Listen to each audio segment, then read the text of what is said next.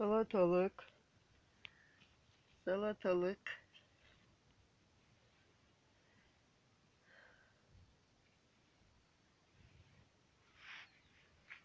Biberler.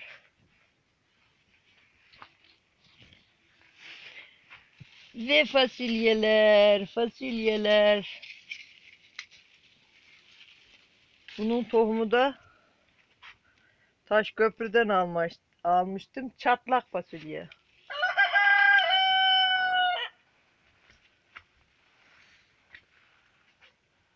Çatlak fasulye diye geçiyor. İçinde tanesi çatlak çatlak oluyor. O yüzden herhalde.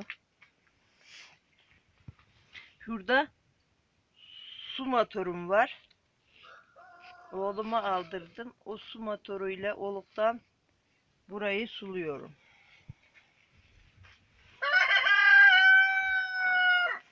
Evet, horoz efendi niye bağırıyorsun?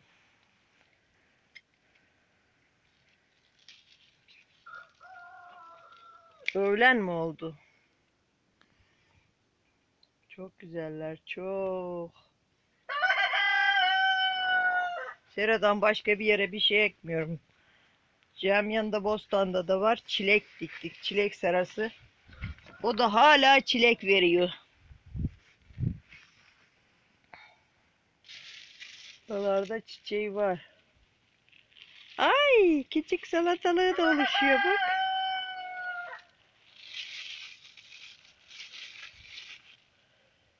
Ekimin sonuna yaklaştık. Hala salatalığım oluyor. 4-5 aydır yiyoruz. Fesleyenlerim kötü olmuş.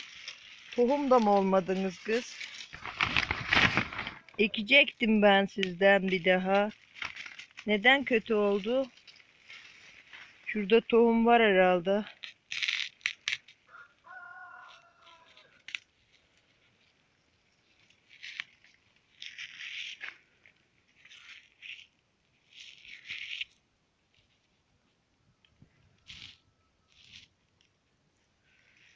Şuraya ekeyim. Biterse biter.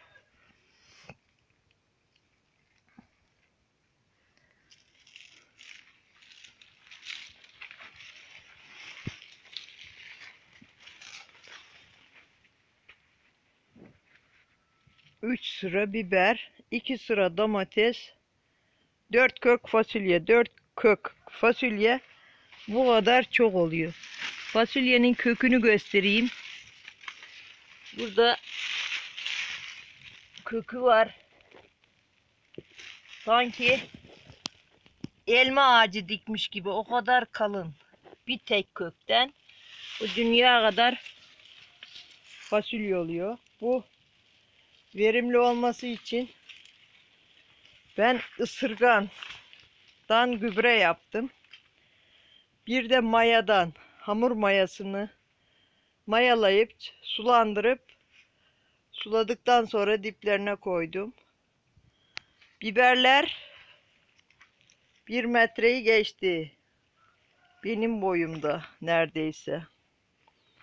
Süper verim.